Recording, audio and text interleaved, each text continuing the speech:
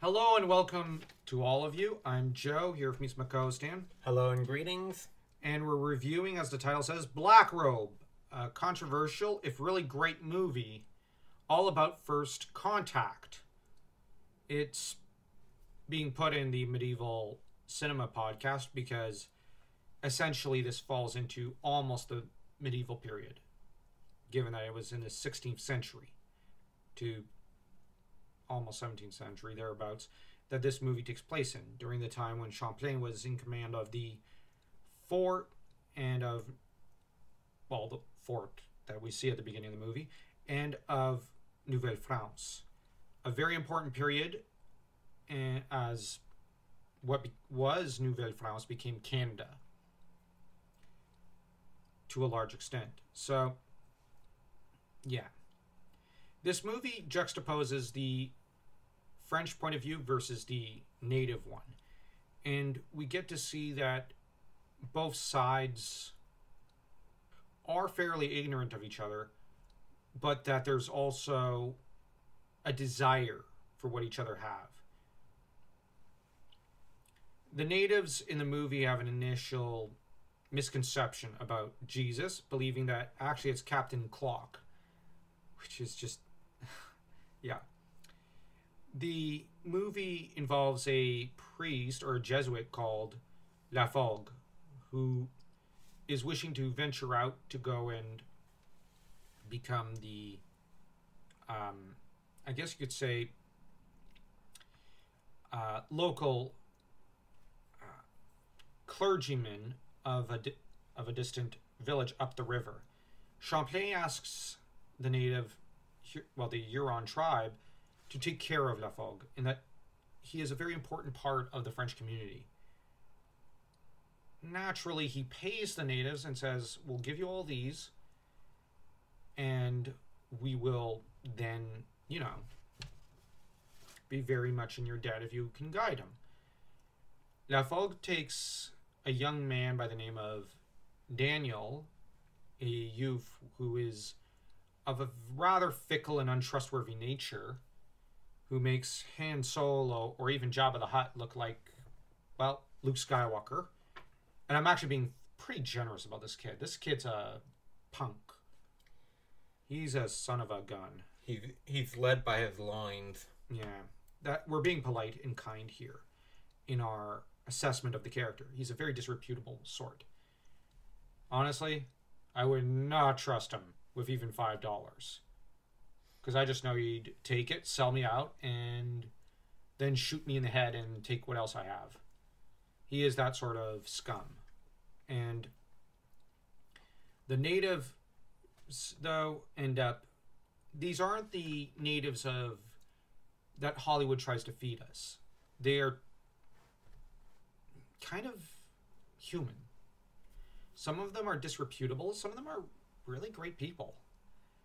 Um, you have in turn the French who are not the French that were fed by English education system of Canada. That is to say, they're not total scum and deserve to all perish.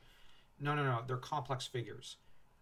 The French have no desire to take the land from the natives. Some of them want to go back to France because they don't like Nouvelle France, but they've been assigned there by the crown.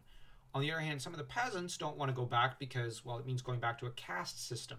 They like the freedom of Nouvelle France, and they just want to be left alone. But they're scared of some of the natives. And as you see in this film, it's kind of with good reason to an extent. As, well, when we later see of the Iroquois, it's, yeah, you don't screw around with those guys. They are scary and kind of wicked. Um, there is now the Hurons end up may, agreeing to take the uh, Pal Laforgue, but then almost immediately start pressing him for what he owns, for his tobacco and whatnot. And Laforgue tells him, "No, I need this to trade with your cousins across the river." I'm sorry, but you've already been paid. I can't. I don't have any means to pay you. But the Hurons ha- have no they're fickle. Like they're they just see it as well. You're holding out on us, but he's actually not. He doesn't actually have any means of paying them. Technically, the tobacco he has isn't even his. He's a middleman. So if he actually gives it to them, and he were to return, he'd probably be stripped of his uh, status so, as a Jesuit. So he's just going no, no, and I don't actually have the means.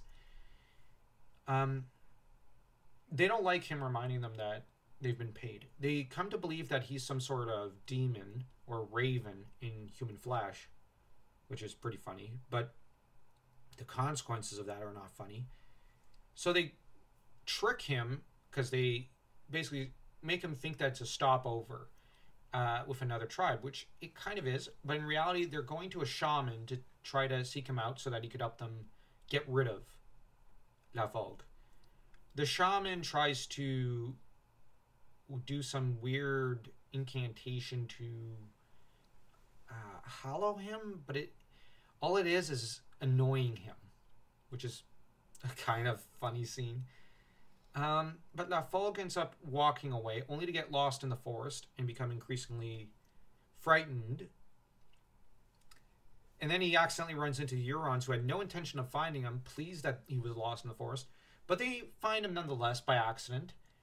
Uh, he throws himself against them in gratitude and tells them how much he adores them, and proceeds to stop being icy towards them because previously he was a little icy. But the thing is, they are after seeing him on thought and decide to start sharing everything he knows from, you know, the Bible to how to produce music, they decide that he really must perish. Which is just kind of horrifying because he's being nice to them now. Earlier, they were frightened by his knowledge of writing and ability to convey knowledge to others through writing, which there is some historical truth to that. They also didn't fully trust his teachings because they don't know the Bible. Daniel believes them to be true Christians because he's an idiot um, and doesn't understand them. And I say he's an idiot because he's an idiot uh, because his uh, small Daniel is telling him that you know Yeah. it is right to fall in love with them. Now, I'm not saying that the native culture is not to be respected in the film. There is some beauty to it. And there is some truth to some of their ideas. But Daniel, the way his arguments are presented against Laforgue's, yeah, he's he doesn't realize it, but he's arguing against keeping them like against not assimilating them without realizing because all of his arguments I think are in favor of like why they need to be assimilated and converted. But on the other hand, you the movie makes a better argument as you go along of the values of some of the culture, local culture of the Hurons, for example. And by that I mean like the idea that life is a dream, really, and that dreams are sometimes truer than life itself, than the real world. And in that there is an interesting belief system.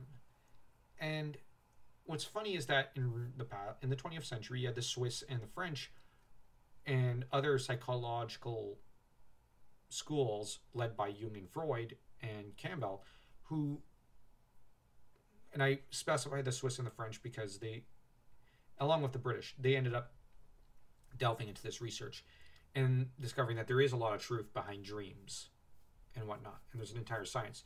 So the natives, in a way, were a little ahead of their time in wanting to psychoanalyze dreams. So we do have to give a lot of credit there. Laforgue does not understand this. That being said, he is bringing with him the classics and whatnot. So there's a lot of value there, and he is bringing reading and writing, which is a beautiful art and a necessary one for a civilization to exist and for you to have laws and have community and whatnot. So there are things that each other could learn from one another, but they are not, unlike the Disney Pocahontas movie, they are just not learning from one another to an extent.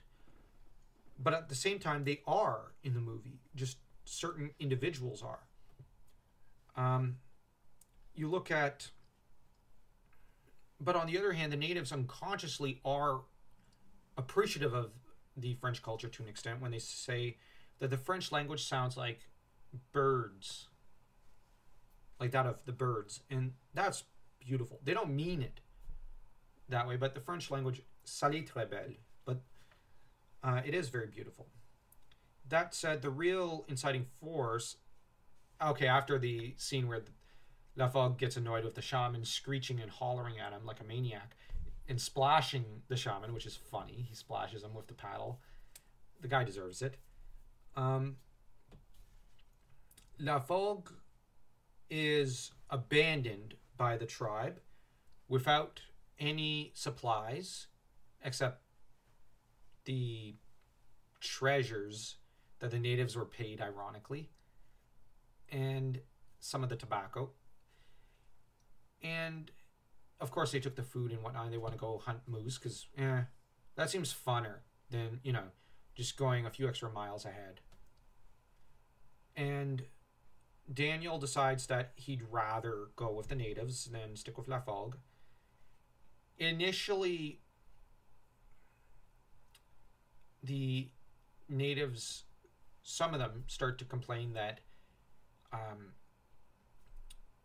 that the chieftain's daughter, whom has been sleeping with Daniel, is possessed to desire Daniel. But in turn, later it is noted by an elder no, no, no, Daniel's possessed. So you actually have some of the tribe who are starting to notice. And some of them are in favor of getting rid of Daniel because they find him, well, he's a stalker. Like, let's be honest. His girlfriend dumped him and he's stalking her. He's not a good ex. And so one of them decides, okay, I'm just going to shoot him. Like, that'll solve, solve this stalking issue. But then the chieftain says, no, that's murder. I don't want that. But there's also a philosophical statement that comes before, I think, after that scene, where the chieftain comments that the problem that the Hurons face is that they've become dependent on the goods the French deliver to them, and that this spells the ending of the tribes, and that this will be their undoing. They're getting more and more dependent on what the Europeans have to offer, just as the Europeans are completely dependent on what the natives have to offer. And but the difference is that the French are learning how to survive and thrive in the land. The natives are unlearning how to do that to an extent and are becoming more and more dependent on what the Europeans are giving them and bringing them. And so you have this collision between the cultures, which is kind of seeing the Hurons being devoured by the French in a way and becoming French. And you have, in turn, the Iroquois who end up capturing, well, they capture some of the natives when some of them decide to, under the leadership of the chieftain, go back for Laforgue, who has taken refuge in one of the uh, abandoned settlements because he's desperate, he's alone, and he's hungry, and you can see he's very lonely, and he's wounded. That said, when he sees the chieftain's wife get wounded, he throws himself into the middle of the battlefield, uncaring for his own safety, probably believing he's going to perish no matter what, and decides to absolve her of her sins, even though she was advocating for his death and she advocated for his abandonment. He doesn't care, and this is actually a, a part of the noble nature of the Jesuits. And he is, of course, knocked out. The Iroquois decide to torture him. Now, Laforgue came from a background where he was of probably middle class. He ended up getting tutored by someone who was tortured and had to have his head almost cleaved off and um, black, not blackened, but burnt by the natives, specifically probably the Iroquois, and he lost a lot of fingers. In it, this is horrifying. Um, now that said, it's implied I think that Laforgue fell in love with a noble woman. She passed away, and he never recovered. So he decided to go become a Jesuit and move to Nouvelle France, despite his mother being stricken with by the idea of him moving away. So Laforgue is a man of deep loyalties and a great deal of love for others. And so when him and a few of the others are brought to the Iroquois settlement, he decides that well, I like the exchange between him and Daniel, where Daniel says, Forgive me, Father, because Daniel gets frightened of the death that's sure to take place because Iroquois want them to run a gauntlet as they bludgeon these men and women to death. And Laforgue has the best rejoinder. Why? He asks coldly. And Daniel stutters for an excuse, and because he's frightened of death and he's he doesn't have the courage to because earlier he advocated for the native paradise or afterlife, which is where you'll just have to endlessly hunt the native spirits. Not the native spirits, but the animal spirits. And the trouble is, this is probably not a paradise for the animal spirits, I'm just going to be honest. And the trouble is, he does not have the courage to hold or the will to hold that belief system. So he falls back on his Christianity. And Laforgue is cold and tells him that uh, God will forgive all sins, but refuses to forgive the man himself, which you can understand why Laforgue is at this point like, screw you. You got me into this mess. Laforgue is made to run the gauntlet, is bludgeoned and nearly killed. Daniel, credit to him, comes to his rescue, at long last doing something right. This after a lifetime of errors and stupidity, but eh, let's hold that let's completely hold that against him because this is his fault. This is entirely his fault. If he had actually, I don't know, told Chieftain's daughter, you know, we're like, can you hold your tribesmen to their word? And she, if she had had, you know, a backbone and held her parents to their word, like, honestly, this tribe was so fickle. Anyways, the Iroquois um, beat them bloody and mortally wound the chieftain who also has an arrow stuck in him. That said, the Iroquois decided that they will trade the Jesuit over to the Dutch to who will ransom the Jesuit La, Laforgue over to the French. And what they'll get out of this is, well, you know, supplies and muskets. And they also want to try asking the Dutch and the English for the knowledge of how to reload guns, because that's a knowledge they don't have. So they require thinking in terms of war and battle. And in turn, they're being extremely brutal and horrible to their prisoners. They're torturing them in a horrific manner that I, wow, like, wow. Anyways, uh, the chieftain's daughter uh, seduces one of the men into letting them go. Um, okay, she did kind of have to do it. I'm not going to judge her too harshly here because when you need to survive, yeah, I blame Daniel.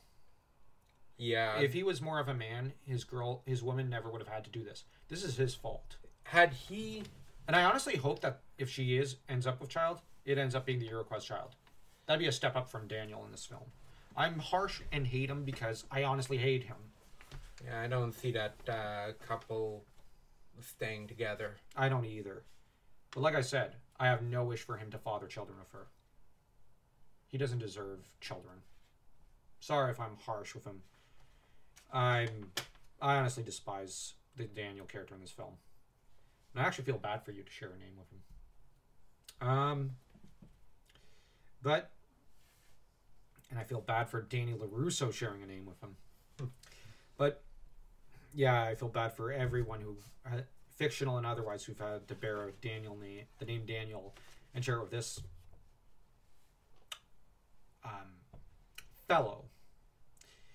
That said, the chieftain who has had constant nightmares of his doom, is taken to the island where he is doomed to perish. Now, Folgue tries to convert him at the last minute. Um, what's her face, the daughter of the chieftain, gets horrified and tries to argue against this. And so her, her father does not die, having converted. But on the other hand, he did end up becoming curious towards the end about the Christian faith. And so he kicks the bucket, and disgustingly, his daughter decides to abandon his corpse there. And I say disgustingly because it is disgusting. Uh, the body is to be devoured by the ravens and whatnot. So uh, she obviously has no sense of filial duty because even the natives had some burial customs, or at least some funerary customs. We do know that for a fact. She just refuses to dole them out to her dad, which, because it risks having the. Now, here's the difference between father and daughter. Uh, the chieftain's child, uh, wife ended up giving birth to a child that did not live for long. It died in childbirth, or at least stillborn. And that Fogg ended up uh, baptizing the child and absolving it and saying, Receive it into heaven, O Lord. And the chieftain said, No, this is an act of kindness, not cruelty, is what he told the shaman and the other uh, tribesmen. So, what would probably happen is that Laforgue, when they would give out, even the Huron custom, would insist on at least baptizing and having the chieftain received into heaven, at least posthumously. There's no harm in it, in the act. But daughter begrudges everything. And at the end, she refuses to accompany the Jesuit forward, wanting to disown him and w- walk away from him. And you could tell in her eyes she blames him, even though it's kind of her fault, along with Daniel's fault. But the thing is, because of her dad's dream, the that the Laforgue ends up wandering off on his own, she decides, you know, let's ditch him. She's not trustworthy. In my opinion, she will obviously abandon Daniel for someone stronger. Yeah, and it's at this point where Daniel Hesitates. hesitates and it puts doubt in his relationship with her. Yeah, which means it's doomed. Exactly. But let's hope she abandons him. I honestly have no compassion for him. I have no compassion for her. And I know that's harsh, but neither of them are deserving of compassion. She's unfilial and wants to and would leave her father's body to the crows. I can't even fathom that. I'm sorry, but like Not even like I, we're French. To us, it's like, yeah, okay, we're part native, but our native side is going. What of the ancestors? What of your ancestors? Our French side is saying, quoi de vos ancêtres? C'est ton père. Honor ton père et ta mère. Honor your father and mother. Like I, I can't even fathom that. And Daniel just going, okay, we can abandon the corpse. Are you kidding me? That's basically your dad-in-law. How could you do that?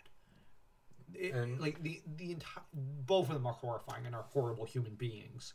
and I could I honestly have more compassion for uh Laforgue because here it He is. clings to his values. Yeah, and you have the chief no, no, run, run. At least there And you get the sense that the chieftain and, and Laforgue came to love each other, and they genuinely became best friends, even though they didn't really exchange words over it towards the end of the film. They just came to love each other in their own way. It it was honestly the best part of this film. I, I wish we got another film with a French Jesuit and natives and a native chieftain bonding, played by these two actors. Maybe different characters, but it would have been nice to see a bromance movie like that.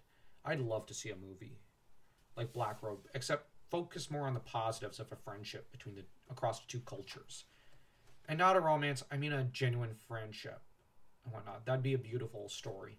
Eh, given that we're writing movie scripts, maybe we should write one. There's an idea. Anyways, actually, seriously, let's write that down. Um, Laforgue arrives in a new in the village he was supposed to get to in the dead of winter. Probably would have gotten there sooner had there not been delays. Yeah, I'm sharp toned, but yeah. But this movie is honestly great. even though there is a delay. Laforgue is now the, this village tribe. I actually get no, like they're very reasonable. Um, well, these they slew the previous priest. I'd slay the previous priest, given his comportment with them. He lied to them all, like throughout his entire time there. Well, not the one who's still alive. Like there were two priests. The other one, apparently, the o- the one currently still alive.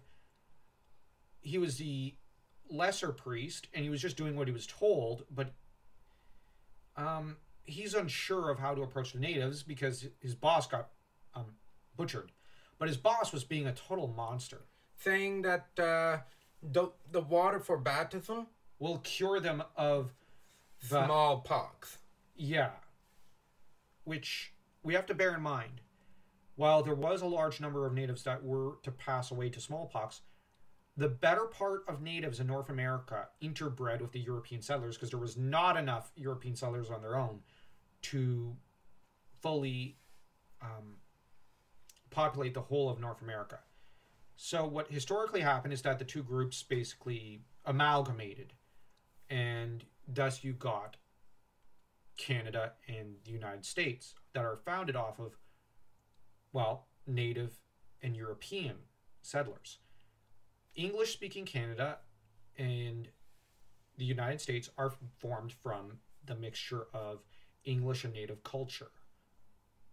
And and I guess with southern US also uh, Toltec and uh, Mex Aztec cultures and peoples and Mayans mixing together which is pretty fascinating. As for the French, it's more the Hurons and the Cree uh, in northern Quebec that amalgamated with the French, and so you got les Français.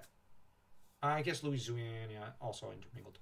And then, of course, you throw in the Africans when they arrived into, when they were brought across the Atlantic. Uh, they ended up intermingling as well. So uh, the genetic history of North America is fascinating in some ways. Um, you got all sorts of folks from Africa and Europe. Um, but that said, this movie kind of deals with that. Now you have a terrible smallpox epidemic that's been ravaging the village, and the thing is, the survivors are actually surviving pretty well, but they have not attacked the remaining white uh, settlers. They've, or at least the only white settler left. Um, I got the sense that the other white settler probably passed away to smallpox for the most part. This tribe did not seem like they were they had murdered more than the local priest who was lying to them, and even they state they may hint that he was not okay with them. He was not nice to them. He was lying through his teeth and treating them like garbage. And so they only have one condition when they at last um, they have actually two conditions when they come to Laforgue. Now, the way they treat Laforgue is nothing like um, how the previous tribe treated Laforgue or like how the previous priest treated this native tribe. Now, Laforgue, you could well understand why he'd be a little angry with the natives and might have developed a bit of bigotry towards them because look at how he's been treated. He's been abandoned, he's been left to starve, he's been tortured, he's had his index finger chopped off and would have had more chopped off and might have been he was not gelded, but he might nearly have been. So, and he observed others being gelded. He has good reason to be a little angry. But he ends up a little. Actually, when he ends up hearing the story, oh yeah, the previous guy was lying to them and screwing them over. He kind of reacts like, wait, but shouldn't we have told them the truth? Why do you lie? Well, you know, like the old guy makes some excuses, but says, you can see that he isn't a, the ba- the worst sort. But he's like, well, you know, this was why we did it. I don't think that was wise. No, he's like, I, I don't agree with that. He makes it clear he doesn't agree with it. You have the old man. Okay, well, you're the new guy in charge. Okay, you do it your way. But I don't, I think you should maintain the lie if you want to baptize them. Because our job is to baptize them. Now, Folk does not agree with this philosophy. So what ends up happening is that now there's a beautiful scene where he, that old man he says, "Father, you are dying," and it is evident that he's dying to smallpox, and he's like, "Do you have confession? I have a confession to make. Do you have one?" And you have the old man who says, Yes, I would hear yours if you would hear mine. And so they they confess to each other, and he gives the final funerary rites to this old man.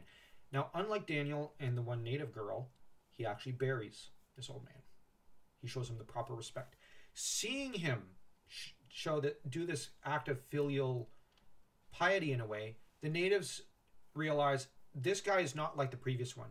So they come to him and they ask, Father, uh, we would ask of you, you know, like, how is it they worded it? Um,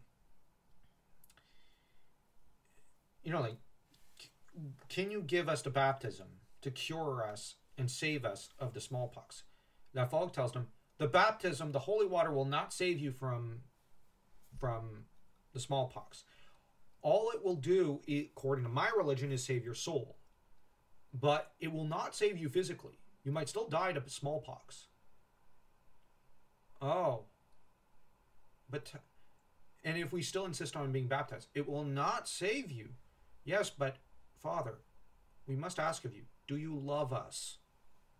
And Laforgue thinks back on all the natives he's met, all the torments he got inflicted on him, and he even thinks of the shaman who hated him and says, while crying, Oui, mes enfants, yes, my children, I love you. And moved the natives, or at least almost all of them, go into the church and agree to be baptized. Which, this is honestly the most beautiful scene in the movie. Yeah. This was a spiritual scene. Like, The mass baptism, there's a very big beauty to it. it reminds me of the of a scene I saw of one movie of of when Clovis got for, first got baptized alongside thirty thousand other Franc. It's it, it invokes that scene and well it's French cinema and that was French cinema so it, it makes sense. But like Laforgue here in a way this feels like a scene where it is preserving the it is like the natives are kind of it's like okay if i were to explain it them and Laforgue are becoming one people and it's not exactly in the context of uh, la France is french people but it's not in the context of purely being hurons they're kind of they're becoming i guess you could say métis they're becoming they're moving into the middle between the two civilizations or cultures and i actually like that yeah, I'm HC. I've got a vested interest in that. I will freely admit I'm a historian, and I love French culture, and because I'm primarily French, so I have a vested interest in that. But As am I. hmm but let us be honest. We also love. We do love deep down our our native side as well because we're part native. Just as we have some Scottish and Irish blood in us that moves us to love those cultures and civilizations. As for the English blood in us, we're ashamed of it. Screw it. I'm kidding. I'm joking. I'm joking. I'm joking. Sorry, the French side in us is so much stronger, as is the Scottish and Irish side. So we always have to make fun of the English. But la réalité, c'est que this is a beautiful movie about collision and about how forgiveness can happen, and that it is only through acceptance of one's own errors and mistakes, as well as being fully honest with each other, and that there is a way for people to come together. There is a way for the natives and the Europeans to come together. There is a way. And let's be honest, the French centuries ago were leading that way. The French never came with war in their hearts against the natives. They came with the goal of escaping France, which was at that time tearing itself apart under the incompetent rule of les Valois Capet and Bourbon Capet, two dynasties which were disastrous for France and that were only interested in absolute power. The citizens didn't who settled in Nouvelle France came with the objective of finding a new home. And if you look up the records of Les Coureurs de Bois, they truly tried to mix the two civilizations together and try to bring people together. And this is what happened. You had Quebec uh, and la culture franco-canadienne is a, blend. And let's be honest, even the North American French variant of Catholicism, because every Catholicism is kind of different, this branch of it is very much a mixture of the native faith and the Catholic faith. And it takes a lot of ideas from both.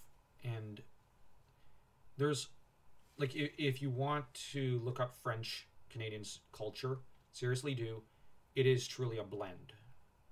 And it is heir to two traditions that of the European, but also that of the native. And it has retained all that is beautiful about European culture and French culture. And it and there is beauty there. And it has also retained the beauty and the freedom that the natives clearly had. So on that note, let's rate this movie. I'm gonna say a four. I will say a four. I love that uh, they rip away the common misconceptions of uh, Both. of both the first settlements and, pardon the word, colonization, and the noble savage. It rips the image of both away because it, and allows us to see what was true, what yeah tr- what truly happened.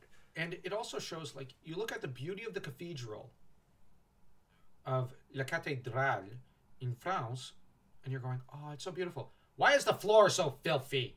You know like you can't help but go hey the floor's been left to rot and it, it looks utterly filthy. So that you get a sense of oh there is neglect on the french end towards their own culture at the time because this was just before the era of the french wars of religion France did not end up uh, clinging stronger to its faith until Louis uh, tries probably. Up and they were in a bit of a decay period to an extent, and that's because of the last Valois Capet who were just well, Francois and Henri uh, were really good monarchs, but then after them, like oh my gosh, you had nothing but bad monarchs, and uh, until Henri Quatre. then you had Louis XIII, who was really good. But, anyways, but the point is, this is a beautiful film about how much the human spirit can endure, about faith, not just in you know higher power, but in each other, and about crossing linguistic and cultural barriers, and about the beauty of two cultures that struggled against each other, though they shouldn't have, but who came together in the end and came to love one another up until they were both sadly defeated. With the Huron, les Hurons being annihilated to a large extent 15 years after the events of this film by the Iroquois, but a great chunk of the Huron fled to the French, who, of course, took them in and the two began to blend their cultures together. French language prevailed, but their faiths kind of mixed together, as did their culture. And so you got to bear in mind, most of the population of Nouvelle France basically were former Hurons. Or basically Hurons, because how can you be former when Hurons was an ethnical tribal identity? So essentially, Nouvelle France became Huronie. Uh, that is to say, the Huron. Uh, peop- the Huron people and the French and Nouvelle French melded together. They they fused into one because they had to. Otherwise, the Iroquois and the English would have wiped them out, and the English were keen to wipe them out, as were the Dutch. The reason why I think it's a tragedy that Quebec lost in the Seven Year War is because, honestly, I think Nouvelle France was. I don't know. I guess I just think. I, I like Quebec. I love Quebec. I love the history, and I think they were doing a better job pushing forward, like the two, like to cross the distance between each other. And I think there there was a great tragedy when Quebec lost on the Abraham Plains. That said, I do love the British. Don't get me wrong. I love them. And I think they did bring about a lot of good. They brought a lot of bad too. But there's a lot that I think that would have done, been done better with the French in charge. On the other hand, I'm going to actually praise one thing. The Americans brought the positive of the American Revolution for themselves. That was good for the American people. But I think that Canada would have been better off under the auspices of France to an extent. And I know that's a weird attitude and that's very biased, but I am biased. I'm just being honest. On the other hand, it's fine to disagree with me because you know what? That's the beauty of history. It's just the greatest adventure story ever written, and it'll continue to be. And there's different perspectives on it, and that's the beauty of history. And but seriously, watch this movie. It's one of the greatest from the '90s. It's probably the greatest historic movie of the '90s, in my opinion. And there was quite a few from that era that were good. Yeah, this is just the best one. But tell us what you think, and don't forget to smash that like and that subscribe button. And don't forget to stay awesome while you're at it.